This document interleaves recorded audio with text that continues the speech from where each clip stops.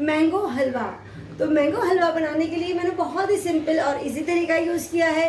कोई भी इसमें इजाफी इंग्रेडिएंट इस तरह का इस्तेमाल नहीं हुआ है, जिसके लिए आपको परेशानी हो। वही रेगुलर चीज़ें हैं जो हमारे किचन कैबिनेट्स में मौजूद होती हैं। दो तो अदर दरमियाने साइज़ के मैंने आम लिए थे, इनको रफली सा कट करके रख लिया है। इसके अलावा मैंने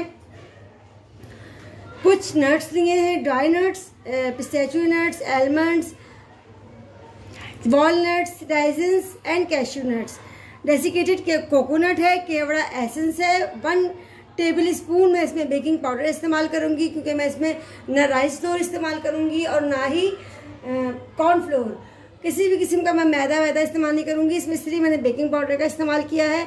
वन टेबल स्पून मैं कार्डेमन पाउडर डालूँगी और जैसे मैं अपने हलवे की रेसिपी में रोज़ वाटर का इजाफा करती हूँ, इसी तरह हम करेंगे। और इसके अलावा वन वन कप मैंने चीनी ली है।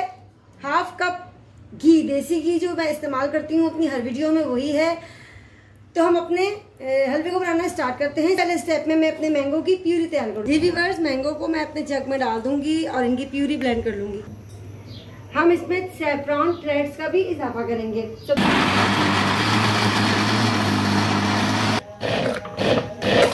पैन में मैंने एक ग्लास पानी डालकर बॉइल्ड होने के लिए रख दिया था। अब इसमें मैं वन कप चीनी ऐड करूँगी और इसका हम शीरा तैयार होने के लिए रख देंगे।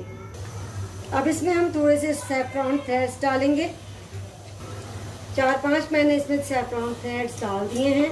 Table spoon cardamom powder drops इसमें मैं केवड़ा केवड़ा एसेंस के ऐड करूँगी। अगर आपके पास केवड़ा एसेंस नहीं है तो आप केवड़ा वाटर भी इस्तेमाल कर सकते हैं। और अगर दोनों चीज़ें नहीं हैं तो इसको स्किप भी किया जा सकता है।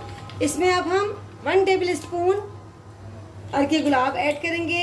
इससे जो है इसकी खुशबू बहुत ही अच्छी आती है, बहुत ही यूनिक और ये मैं ऐसी रेसिपी बना रही हूँ कि ये अब तक मैंने कहीं पर देखी नहीं है। ये रेसिपी और ये रेसिपी मेरे घर में और मेरे ख़ानदान में बहुत ज़्यादा पसंद की जाती है। ऐसी यूनिक रेसिपी है।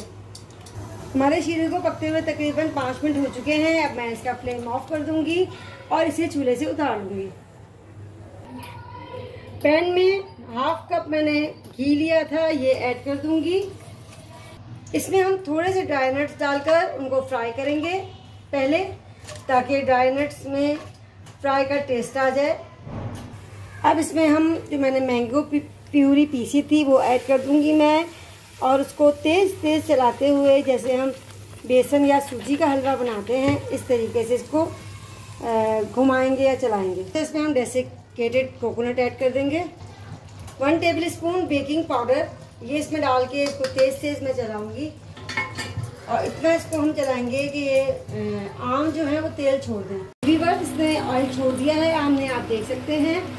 साइडों में ऑयल आ गया है। अब मैं इसमें शीरे का एडिशन करूँगी और फिर इसको दोबारा इसकी बुनाई शुरू कर दूँगी।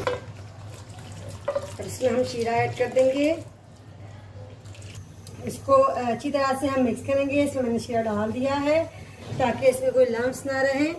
और फिर मैं इसे पकने के लिए और भुनने के लिए 10 से 15 मिनट के लिए लो फ्लेम पर छोड़ टेबल स्पून में कार्डेमन पाउडर मैं हल्दी के अंदर भी ऐड करूँगी।